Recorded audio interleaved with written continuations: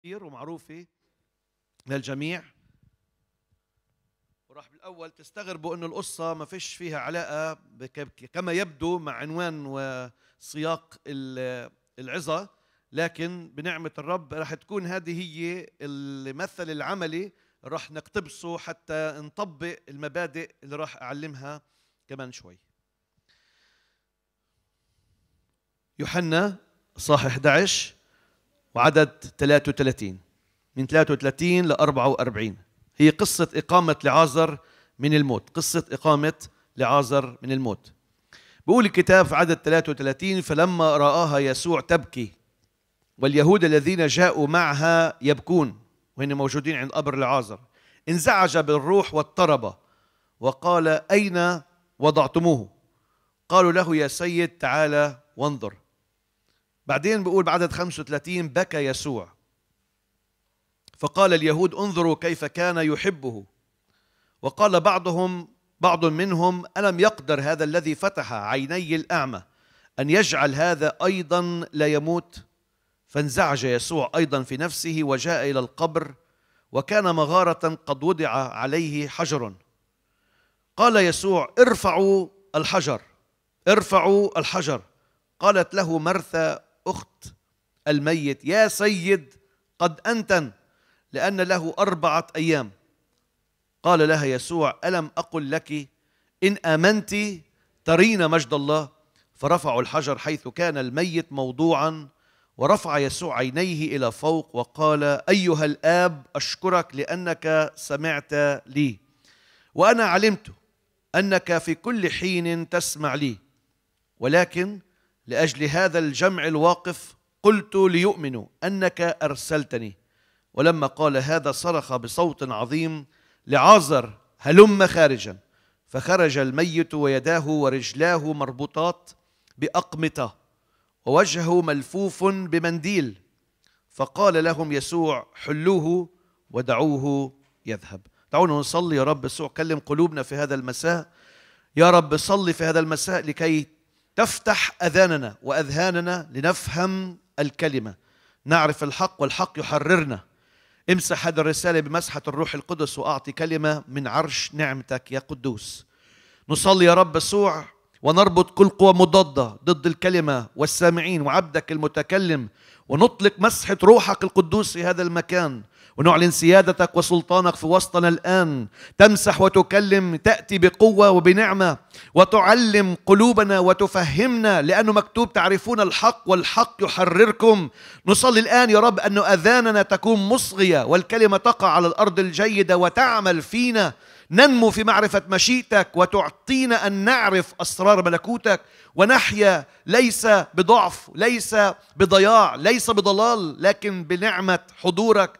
ونحيا بالحق والحق يحررنا. تمجد يا رب في وسطنا واعلن ذاتك لنا لأنك إله كل نعمة. في اسم المسيح نصلي ولك كل الإكرام إلى الأبد. آمين.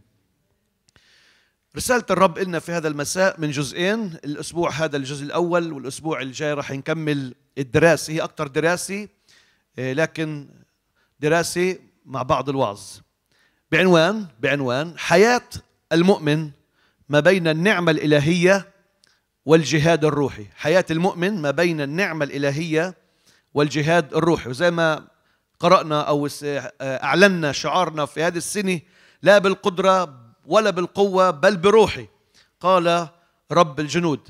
لا بالقدرة ولا بالقوة بل بروحي قال رب الجنود. إذا بنطلع على هذا الشعار قد يبدو في البداية إنه كله شغل ربنا. إحنا ملناش دخل يعني. هو بيعمل بقدرته بقوته. إحنا إحنا أوت من كل ال- العملية. وهو إذا بده بباركني وإذا بده باركنيش وال- والموضوع متروك عنده وأنا ما فيش إلى أي دور.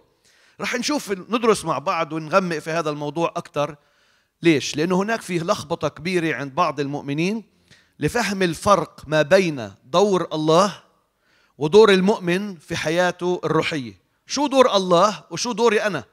مش فاهمين. في بعض في لخبطة في هذا الموضوع. وهذا وهذا الشيء بنشوفه بشكل واضح. لما نقارن ما بين النعمة الإلهية اللي هي دور الله وبين الجهاد الروحي اللي هو دور المؤمن. دوري أنا ودورك. البعض الأول أخذ تطرف في الطرف الأول آه، أو الفئات بعض المؤمنين تطرفوا في هذا الموضوع وركزوا على النعمة الإلهية المجانية كله بالنعمة كله بالنعمة.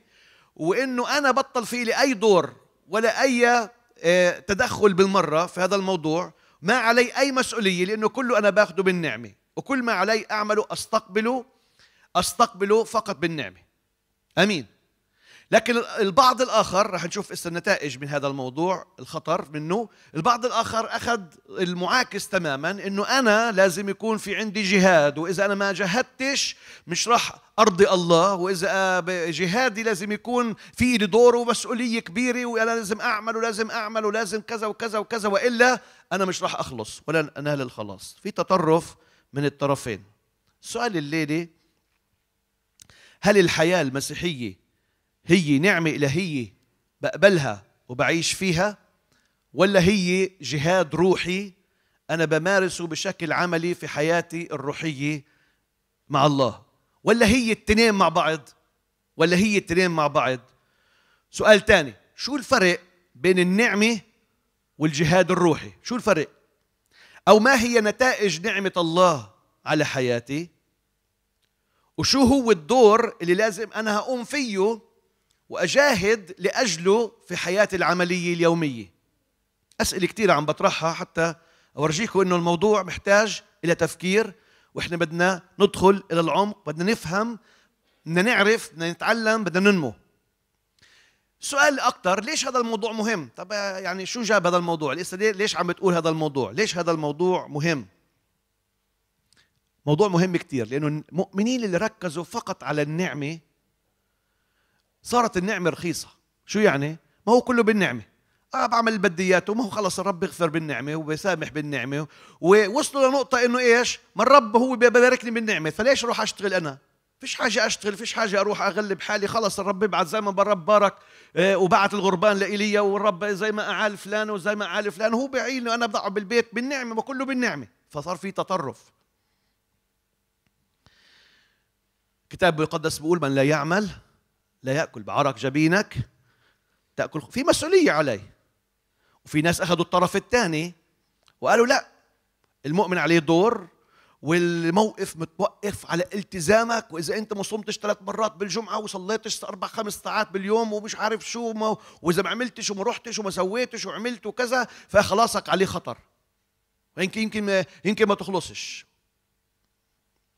طبعا هذا غلط وهذا غلط. السؤال هل الحياة مع الله نعمة؟ ولا جهاد روحي؟ ولا التنين مع بعض؟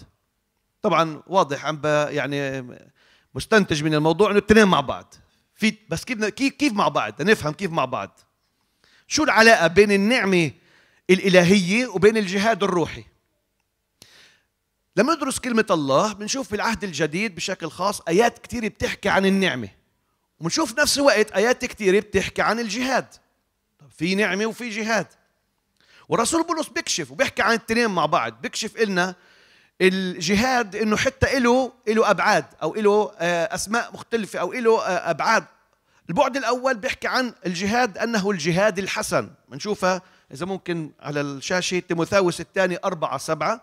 بقول قد جاهدت الجهاد الحسن. بقول عن نفسه. أكملت السعي حفظت الإيمان.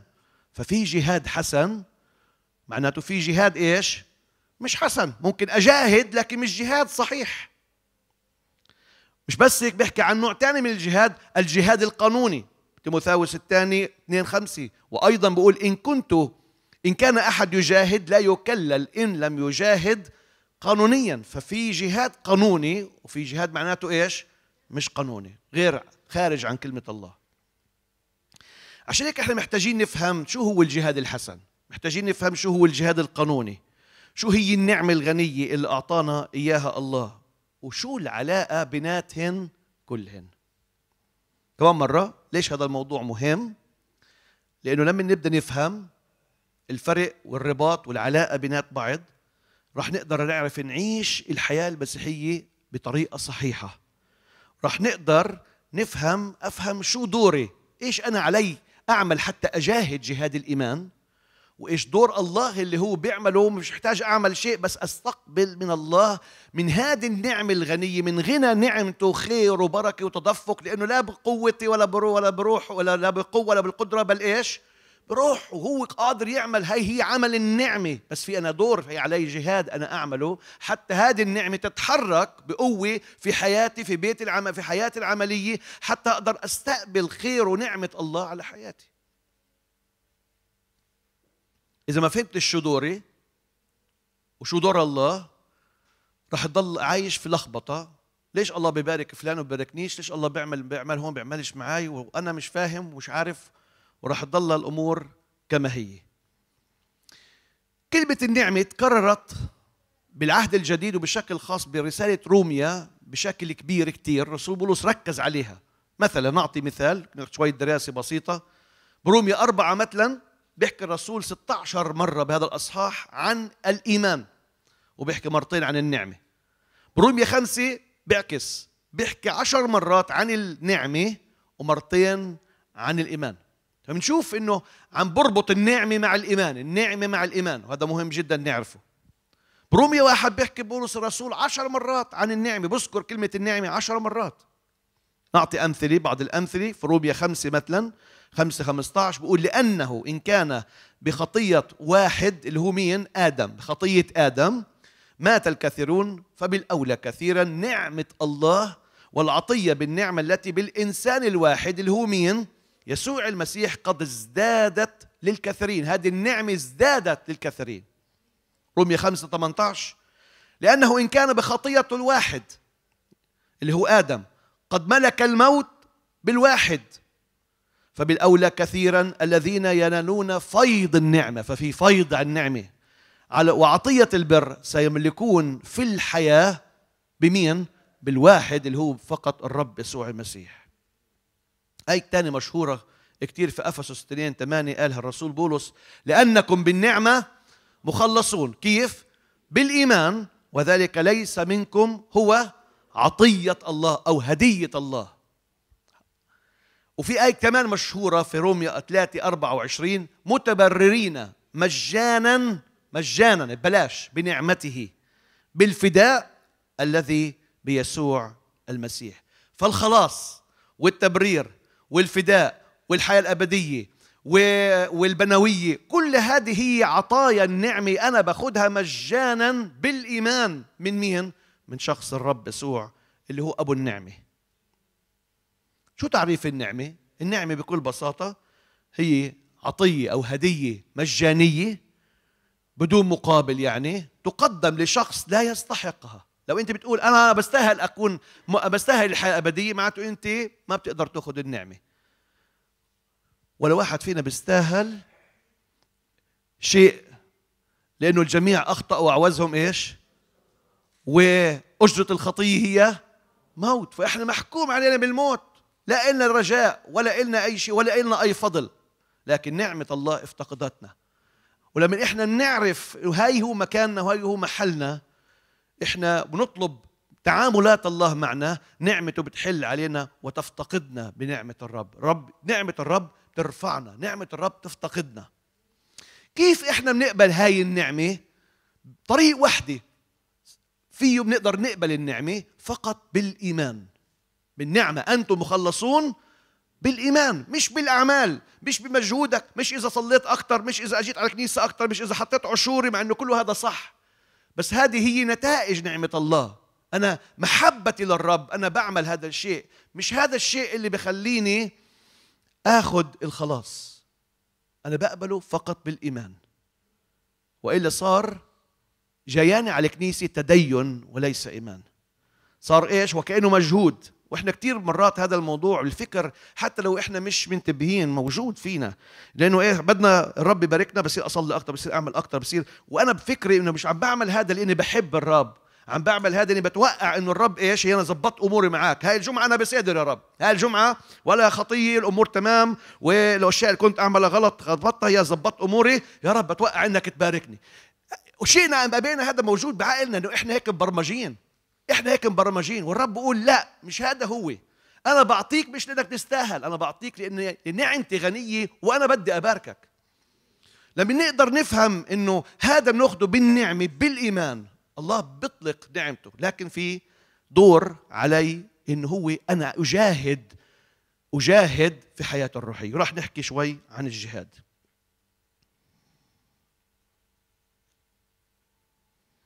شو هو الجهاد؟ بيحكي كتاب عن الجهاد. عبرانيين 12 واحد.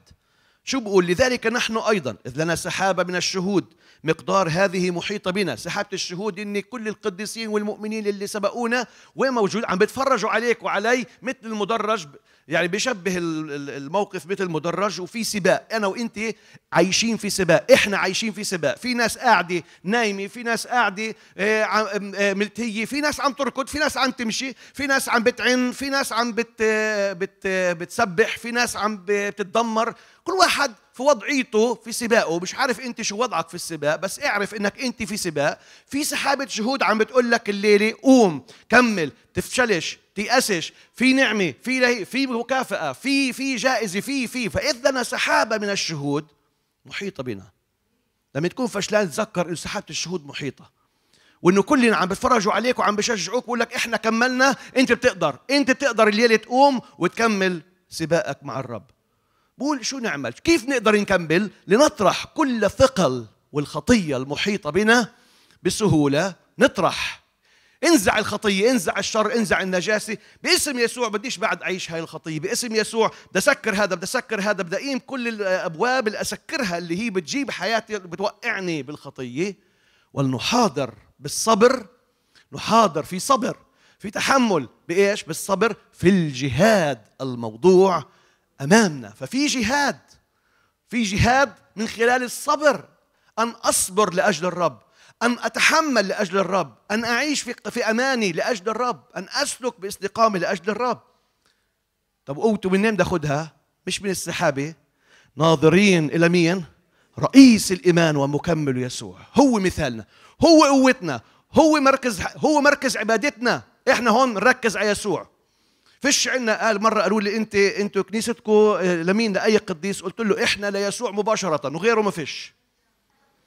كنيسة يسوع الحي إلى كل المجد. ففي جهاد من خلال الصبر. بعدين بعد الثلاثة بيكمل فتفكروا في الذي احتمل من الخطاة مقاومة لنفسه. مين اللي احتمل؟ يسوع. جاهد. مثل هذا لئلا تكلوا وتخوروا في نفوسكم. تذكروا إنه هو مرق الطريق قبلكم واحتمل لأجلكم. بقول لم تقاوموا بعد حتى الدم. تعرفوا الكنيسة الأولى كانوا يرموهن للأسود. إنك أنت مستعد تموت من أجل يسوع. هذا جهاد. هذا نوع من أنواع الجهاد. جهاد اسمه أن جهاد. مش اللي بفجروا حالة من المفجر. لا مش هذا هو الجهاد. لم تقاوموا بعد حتى الدم مجاهدين ضد مين مش ضد البشر ضد الخطية. أمين؟ لما أنت بتوقف وتقول لا أنا بديش أعمل أنا بديش أغش أنا بديش أكذب أنا بديش أمشي بالظلمه زي ما سمعنا أنا بديش أعيش بالظلمه أنا بدي أعيش بالنور أنا بدي أمشي بالحق. أنت عم بتجاهد ضد الخطية. ممكن اللي حواليك يقول لك مجنون إخوة مش عارف إيش. مش مهم. هذا جهاد. من أجل مين؟ من أجل الرب. مجاهدين ضد الخطيه ففي جهاد ضد الخطيه واللي قبلنا سبقونا جاهدوا.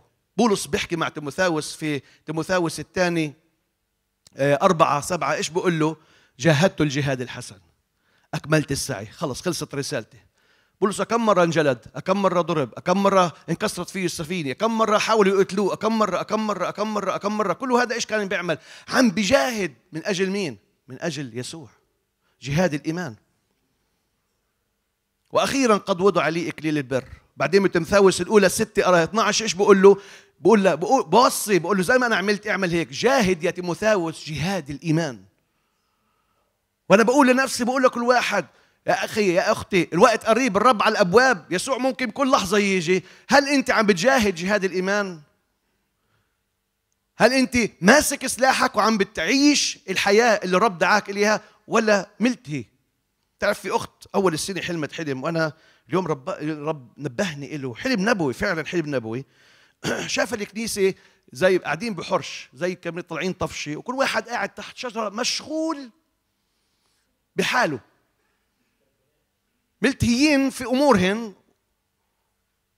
وشافت الرب جاي على الأبواب لكن قبل ما يجي الرب شافت مارد عظيم جاي هاجم على البلاد هون. وإحنا ملتهيين. مشغولين مشغولين مشغولين. والرب ينادي قوموا جاهدوا جهاد الإيمان. عيشوا للحياة الأبدية. جاهد جهاد الإيمان الحسن. امسك بالحياة الأبدية التي إليها دعيت. مبارك اسم اسم الرب يسوع. اذا تعاملي واستقبالي للنعمة هو فقط بالإيمان. أمين؟ أنا النعمة كيف باخذها بالإيمان. لكن الجهاد الروحي هو عمل. أنا بقوم فيه. هو مجهود أنا أبذله حتى أعيش الحياة التي ترضي الرب. السؤال الليلة السؤال اللي يعني الأهم هسه بندخل أكثر طب شو العلاقة بين الاثنين وشو الترابط؟ الترابط والعلاقة لازم نعرف إنه ال ال النعمة بتمثل الدور الإلهي. هذا مش شغلي هو هو بيعمل كل العمل. والجهاد يمثل الدور الإنساني. هذا دوري وهذا مسؤوليتي. محتاجين نفهم استراتيجية الله في تعاملاته معنا. وهون كمان في بعض بقعوا في هاي النقطة. وكله الله بيعمله وكله الله بيعمله وإحنا فيش لنا دور. نعم هو بيقدر يعمل كل شيء لكن لازم نعرف إنه الله اختار بمحض إرادته إنه عشان يتعامل معنا. اسمع منيح هاي النقطة لأن كثير مهمة. الله عشان يتعامل معنا عشان يبني علاقة معنا لازم يكون إلنا دور. لازم يكون عنا دور. لأنه الله ما بده إيانا نكون مثل الروبوت. نكبس على هذا الكباس بيمشي اعمل هيك سوي هيك سوي هيك أنت فيش لك أي إرادة ولا دور. لكن الله بده إيانا نكون شركاء معه في شراكة معه في شركة معه في علاقة متبادلة معه وعشان أقدر أنا عشان إحنا نكون في شراكة وفي علاقة متبادلة لازم يكون لنا دور. لو الله بيعمل كل الشغل معناته أنا فيش لي دور معناته فيش لي قيمه لكن الله اختار إنه إحنا نكون شركاء لأنه إحنا عروس لأنه إحنا كنيسته. نشاركه حتى في آلامه. إحنا شركاء في آلامه زي ما هو تألم إحنا بنتألم من أجله. ليش؟ لكي نتمجد معه لكي نرث معه. ما في شراكة هون وفي شراكة راح تكمل وين؟ في السماء. لكي نملك معه. جعلنا ملوكا وكهنة. فأنا هون في لي دور إنه أنا شريك أحتمل الألام. طبعا مش نفس ألام الرب تحملها على الصليب لكن ألام الخدمة. ألام الحياة حياة الامانه حياة حياة البر العملية. إذا الرب عمل كل شيء بطل لي دور. فمحتاجين نعرف إنه نعم الرب عمل كل شيء بالنعمة لكن لي دور إني أنا أكون شريك. مع الرب. السؤال السؤال هل أنت شايف لك لك قيمه ولا ولا ولا ولا لا؟ رب بقول لك لك دور. لك دور إنك تصلي. لما أنت بتصلي أنا بتعامل معك. وإذا أنت ما صليتش أنا مش راح أتحرك. ليش؟ لأن أنا اخترت إنه أنا أتعامل من خلال صلاتك. في لك دور. في لك دور إنك انت تشهد وتبشر. رب أعطى تلاميذ قال روحوا اشهدوا اكرزوا. وإذا ما كرزتوش كيف بدها توصل البشاره فالله جعلنا شركاء معاه في الخدمة. عاملون مع الله. في جهاد إنه إحنا نشهد في حياتنا في سلوكنا إلى آخره. هل الأدوار بين الله والإنسان متساوية؟ طبعا لا. الأدوار بين الله والإنسان مش متساوية. حجب النعمة أكبر بما لا يقاس. من حجب الجهاد.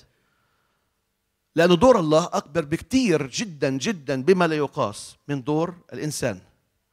فالنعمة هو الدور الإلهي اللي أنا بقبله بالإيمان. بينما الجهاد هو الدور الإنساني اللي أنا بقوم فيه من خلال علاقتي مع الله من خلال نمو الروحي من خلال تحقيق إرادة الله في حياتي. وراح أعطي مثال إسا بالنهاية مثال بسيط بيشرح الفكرة مثال هذا مثال نموذج بيشرح الفكرة وين كيف إحنا نتعامل مع الله بدورنا ودوره وين وين هو بيعمل وين أنا بعمل وشو دوري وشو دوره. مثال لهذا الشيء والمثال هو القصة اللي قريناها معجزة إقامة لعازر. وصل يسوع بهاي القصة لوين؟ عند قبر لعازر مرثا ومريم وقف وشاف الوضع اللي بعزه اللي بنوحه الحالي يرثى لها.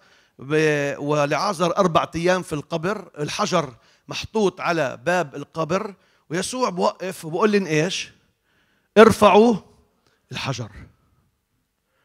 يا رب قد أنتن. يا رب له أربعة أيام.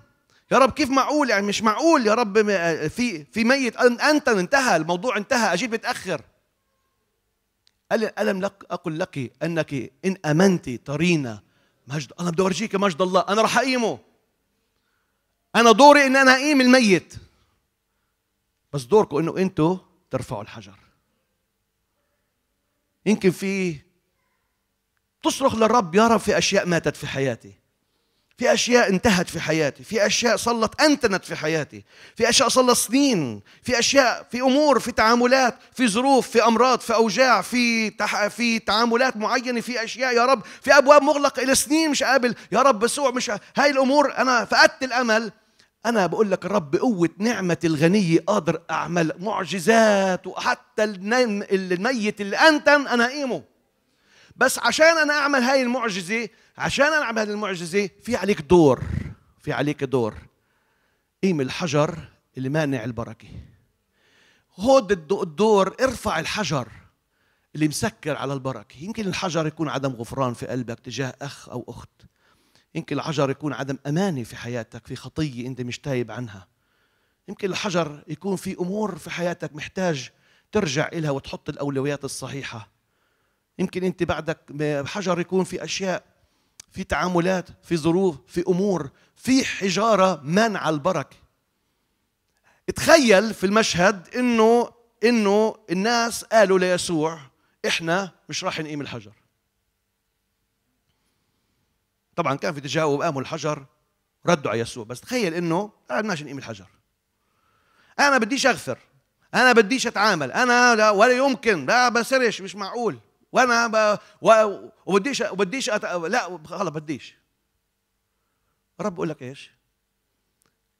مش راح أقدر اقيم الميت يا رب طب ما أنت الميت أربع أيام. كلمة محن هدأت الرياح وسكت الأمواج بك... بكلمة أسكت ابكم بس انت ارفع إيدك اعمل هيك الحجر بزيح. قال لا هذا مش دوري هذا دوركم كثير مرات إحنا متوقع من الرب معجزة لا بالقدرة ولا بالقوة بل بروحي. بس الرب بيقول قبل ما أنا أعمل المعجزة قبل ما نعمة الغنية قبل ما قوة غناي تيجي على حياتك وتفتقد حياتك أنت قوم بدورك.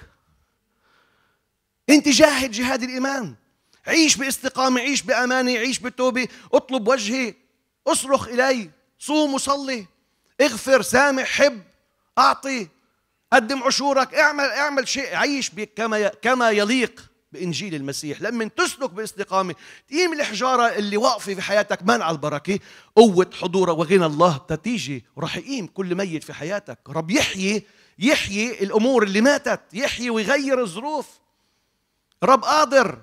قوته غير غير محدودة.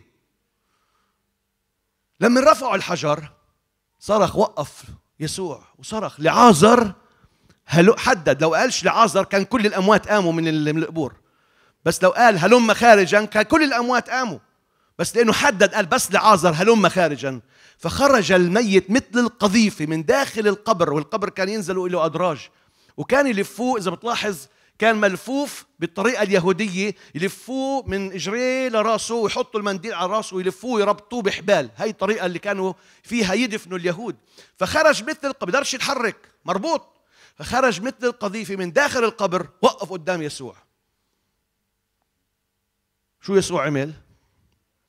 أخذ سكين تبيت وبلش يفكفك ويحل ويعمل. شو عمل يسوع؟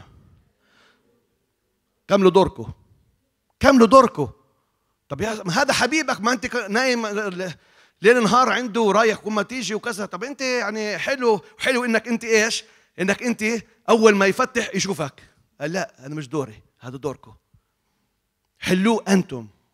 ودعوه يذهب لما إحنا بنقوم بدورنا لما إحنا بنجاهد جهاد الإيمان بنعيش بأمانة قدام الرب الله راح يقوم بدوره ويعمل عمله الغير عادي.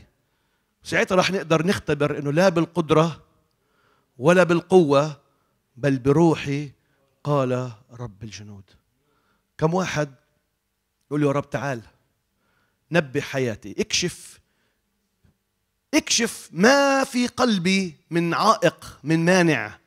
إيش الإحجار الموجوده على حياتي اللي مانعه غنى نعمتك وعملك وسلطانك يعمل في حياتي؟